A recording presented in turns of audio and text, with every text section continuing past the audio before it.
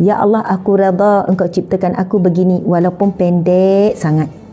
Ya Allah aku reda engkau ciptakan kulitku gelap walaupun memang nak cerah sikit. Aku reda ya Allah inilah hidung aku mata. Aku reda dengan ciptaanmu terhadapku ya Allah. Sebab ada orang sampai sekarang susah nak reda. Rasa rendah diri. Rasa Yelah rasa dirinya tak cantik. Padahal Allah ciptakan sempurna.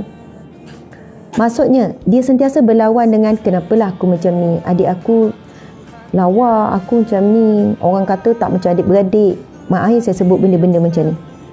Kadang ada orang tak reda dengan pasangannya. Sebab pasangan tak macam orang lain.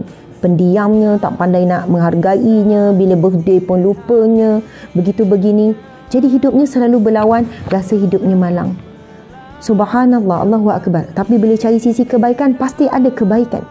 Ada orang susahnya dia nak redha dengan dapat anak. Bang kenapa anak kita tak apa cerdik ah? Belilah pe cerdik. Tak cerdik juga. Susahnya ibu bapa ni nak redha. Ya Allah peksa mesti nombor akhir macam mana? Rupanya Allah uji melalui IQ yang rendah tu setiap kali itulah pahala sabar pahala sabar.